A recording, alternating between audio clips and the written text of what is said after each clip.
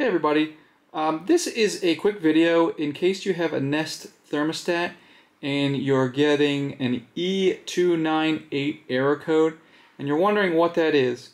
So um, this, first of all, this is a critical error code and it's on the newer models of the Nest thermostat and it shows up when the power is disconnected um, from the system. So uh, because this is a critical error, the thermostat will switch to the backup battery system.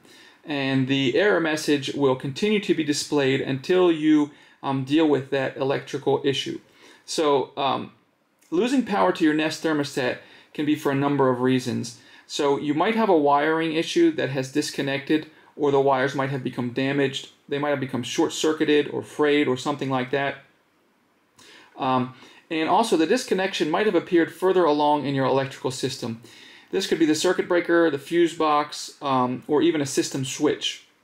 So a professional technician would check all these electrical all these electrical connections and wirings in order to find out the root of the problem. So anyway, I hope this video helped you uh, find out what's going on with your thermostat. Thanks a lot for watching. Have a great day.